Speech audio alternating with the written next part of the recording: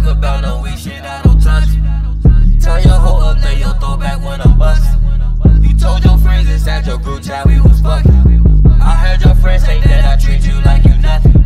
What's up, y'all? It's Rana Rowan back with another video. Today I'm going to be talking about this lace closure wig that I got from Amazon for a really good price. So if you want all the details and the specs on this hair, please stay tuned. So first, I bought this hair off Amazon from a company called Muokass. I'm to put it down below so you guys can see the name of the company that I bought it from.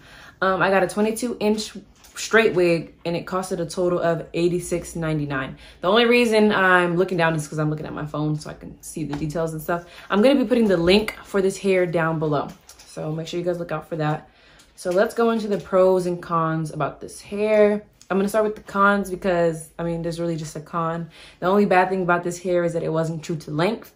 Um, when I initially got the 22 inch wig, it looked more like a 18, maybe 20, could be 20 uh, inch so I immediately messaged them and I was like, this is not what I paid for. Like I asked for a 22 inch wig. Why am I getting an 18 to 20? Like stop trying to play with me, basically. Then they messaged me back. They were a really good seller because they sent me two 22 inch bundles so I can add it into the wig, which I did do. So the hair is kind of true to length now, but I shouldn't have had to go through that in order to get to get the length that I pretty much paid for. Um, so let's talk about the pros. The hair was so soft, like out the package. It was super soft, super manageable, not tang it wasn't tangled at all. It wasn't shedding, none of that. So that's a good thing. Another pro was that it took color well. I did dye it. I used 40 volume developer and uh, L'Oreal color highlights in magenta and red and I mixed it together and that's how I achieved this color. Uh, it only took about an hour for the color to lift and to be the way it is now. I'm kind of feeling it, but at the same time, it's like, mm kind of want to go back black because I'm gonna insert some pictures of me with the wig on, like with the different colors, and you guys will see the difference. Um, another good thing about it is parting space is super good. Um, some I've had a wig before where it was literally like an inch of parting space. So obviously it's not gonna look natural if there's no space for it to look like there's a part because natural hair has parting space. So it's just, it was just dumb to me. Um, the next thing is it's super easy to customize. You don't have to do much though. Like when I got it out the package, all I did was pluck that's all I had to do. I didn't bleach the knots, none of that. All I did was put concealer on the inside, which my shade of concealer on the inside where the part was, and then on the top, and then I set it with some powder. I used my MAC powder.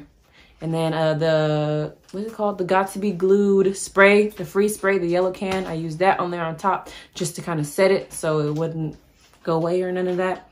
Another thing is the wig is um, constructed very well. Like it's very neat. You can't see tracks at the top. I know sometimes when you have um, a closure wig, like the space between where your closure and the next track is, you can kind of see it. But on this wig, you can't see that. And it's like super, it's wefted super nice. Um, there's three clips, I believe. There's one here, one here, and one in the back. There's also straps to adjust the tightness of the wig. Now me, I'm a big head girl. I'm, my head is huge. So this wig was perfect for my big head and I can tighten and loosen it as I want to. So that was really good. Um, another thing is in order to color it, you don't have to really bleach it. You can just use 40 volume developer depending on the color you're going for. Now, I wouldn't go and do a blonde hair, trying to bleach this hair to blonde to get a 613 color because you're going to fry it and damage it. Like, I don't know. The 40 volume developer didn't damage this hair so much. It's actually holding up very well. It's still not shedding, not tangling, none of that. Just brushing it in the morning and going and brushing it maybe once or twice through the day will get you through. It's really good hair. So for, let me see, what, $86, you can get a slight slay. So if you guys like this video, please thumbs up, comment, and make sure you subscribe to my channel if you're new. Thanks for watching. Bye.